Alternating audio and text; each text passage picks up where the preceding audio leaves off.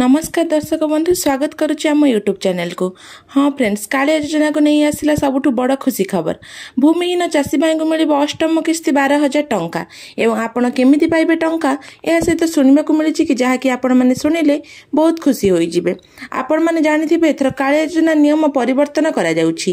ଏଭଳି ନିୟମ ପରିବର୍ତ୍ତନ କରାଯାଉଛି କି ଏଥିରେ କିଛି ଲୋକ ଖୁସି ହେଉଥିଲା ବେଳେ ଆଉ କେତେ ଲୋକ ନିରାଶ ହେଉଛନ୍ତି। ତଥାପି ବହୁତ ଲୋକଙ୍କୁ ସୁବିଧା ମିଳିବ ବୋଲି ସରକାର ଯୋଜନା କରୁଛନ୍ତି।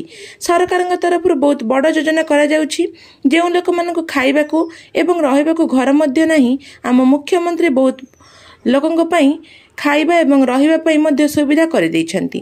ଆପଣମାନେ ଜାଣିଥିବେ କାଳିଆ ଯୋଜନାରେ ଦୁଇଟି ଇନଷ୍ଟଲମେଣ୍ଟ ମାଧ୍ୟମରେ ଟଙ୍କା ଦିଆଯାଇଥାଏ।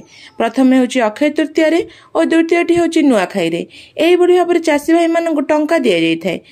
ଆପଣମାନେ ଜାଣିଥିବେ କି ଆମ ସରକାର ଗୋଟେ ନୂଆ ଯୋଜନା ଘୋଷଣା କରିଥିଲେ ଯାହାକି କୃଷକ ଓଡ଼ିଶା ପୋର୍ଟାଲ ଯାହାକୁ ବହୁତ ଚାଷୀ ବହିମାନେ ପଞ୍ଜୀକରଣ କରିଥିବେ। ଏଥର ପଇଁଚାଳିଶ ହଜାରରୁ ଉର୍ଦ୍ଧ୍ୱ ଚାଷୀ ଭାଇମାନଙ୍କୁ କାଳିଆ ଯୋଜନାର ଟଙ୍କା ଦିଆଯାଉ ବୋଲି କୁହାଯାଉଛି। ଯାହାକୁ ଦେଖି ଲୋକମାନେ ଖୁସି ହେଉଛନ୍ତି ଭୂମିହୀନଙ୍କୁ ଅଧିକ ଟଙ୍କା ମିଳିବ ବୋଲି କୃଷି ନିର୍ଦ୍ଦେଶକ ପ୍ରେମାଚାନ୍ଦ ଚୌଧୁରୀ କହିଛନ୍ତି। ସେ କହିଛନ୍ତି ଏହି ଯୋଜନାରେ ଅନେକ ଚାଷୀ ଭାଇମାନେ ଉପକୃତ ହୋଇପାରିବେ। ନୂଆଖାଇରେ ଭୂମିହୀନ ଭାଇଙ୍କୁ ବାର ହଜାର ଟଙ୍କା ଦିଆଯାଇଛି।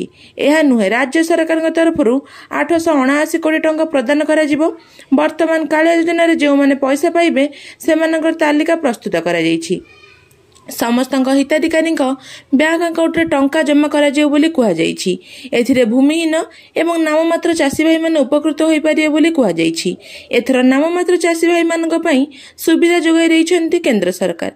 ଏହା ଦେଖି ବହୁତ ଚାଷୀ ଭାଇମାନେ ଖୁସି ହୋଇଛନ୍ତି। ବର୍ତ୍ତମାନ ଏହି ଖବର ଚର୍ଚ୍ଚାର ବିଷୟ ପାଲଟିଛି।